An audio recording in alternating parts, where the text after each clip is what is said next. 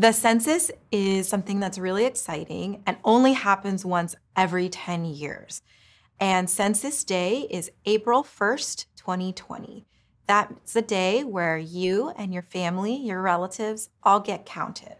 And how do you get counted? Well, you fill out a form, either online or in paper, and that information is used to decide how many members uh, get sent to Congress and how much funding goes to your city for essential services. So, uh, like your community center or health services. And so that's why it's so critical because you only have this opportunity once every 10 years. So, you participating is so important. And it doesn't matter how old you are, you count.